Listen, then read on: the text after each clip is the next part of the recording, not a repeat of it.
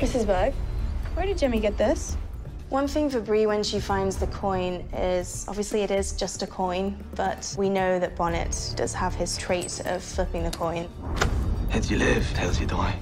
And I think for Bree it's less about that and it's more just an instinct. I think she just has a feeling that something about it is amiss. A man ruffled Jemmy's hair and gave him a coin.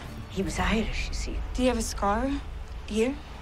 Not everybody knows what happened to Bree. So anyone who Bree is talking to where Bonnet does come up, she's again having to put on this huge facade that everything's okay. He took him. What? Who? Jemmy! Jemmy!